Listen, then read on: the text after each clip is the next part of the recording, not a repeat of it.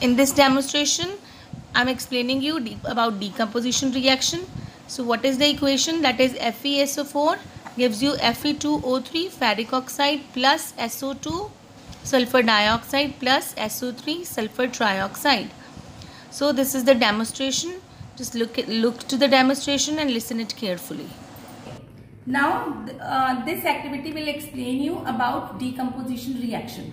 The first decomposition reaction that is your activity um, activity 1.5 in which we have to see the decomposition of ferrous sulfate.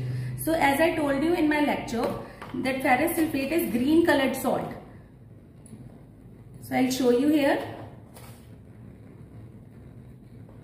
So why ferrous sulfate is green color green in color because of presence of water of crystallization. So this salt is green in color.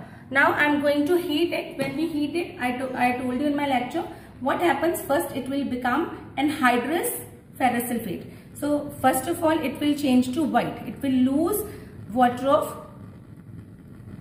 crystallization and now we are heating continuously so it, it is it is being changing to brown colored solid. So the brown colored solid is Fe2O3 that is your ferric oxide and these gases are coming out from the test tube. These gases these have burning smell. We can smell it like this. These have burning smell. So these gases are SO2 sulfur dioxide and sulfur trioxide. So this is your activity showing decomposition reaction. Thank you